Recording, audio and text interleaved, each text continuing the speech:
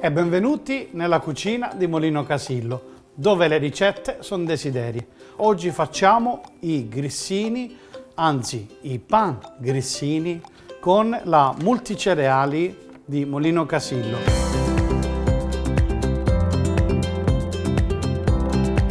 La ricetta è semplicissima, ha pochi ingredienti. La nostra farina che abbiamo già inserito nella planetaria, inseriamo tutta la nostra acqua, andiamo ad inserire il nostro lievito, eccolo qua, e cominciamo a far girare. Dopo circa un minuto inseriamo il sale e cominciamo a mettere l'olio. E dopo qualche minuto il nostro impasto sta cominciando a staccarsi dalla parete della nostra planetaria. Perfetto. Diamo ancora più velocità.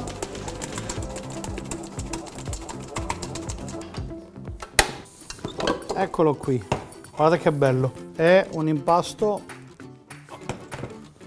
molto profumato. Perfetto. Adesso spolveriamo con un po' di farina.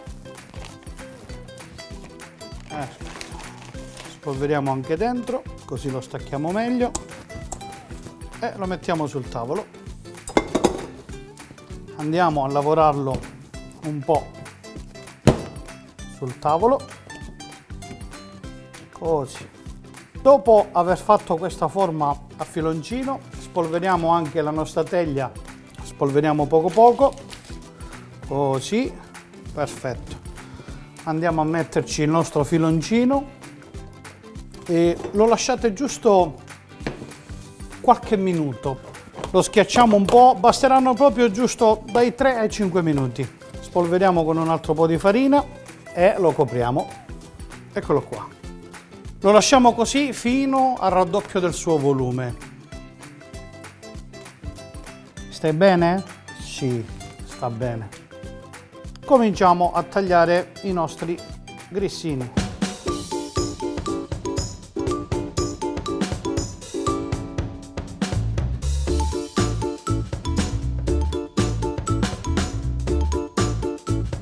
Adesso siamo pronti per infornare i nostri pangrissini. Abbiamo preriscaldato il forno a 200 gradi, 15 minuti e ci cominciate a dare avere un occhio. Io vado ad infornare i nostri grissini. Eccoci qua, facciamo partire, via. Non ci rimane che aspettare la cottura dei nostri grissini per assaggiarli insieme a voi. Beh, spesso in cucina capita che si rompe qualcosa, in questo caso mi si è rotto proprio un cucchiaio. Vi faccio vedere eh, come usarlo con il mio tocco da maestro, recupereremo questo cucchiaio rotto per farci qualcosa di interessante. Apro leggermente il forno e inserisco il mio cucchiaio rotto così, da favorire la fuoriuscita del vapore e dell'umidità del nostro grissino così da renderlo più fragrante e gustoso. E i nostri grissini sono pronti, profumati e caldi. Non ci rimane che assaggiarli. Mettiamo i nostri grissini nel nostro contenitore per preparare il nostro cento tavola. Così. Così. Beh, i nostri pangrissini sono pronti non ci rimane nient'altro che darvi appuntamento alla prossima ricetta nella cucina del Molino Casillo, dove le ricette sono desideri.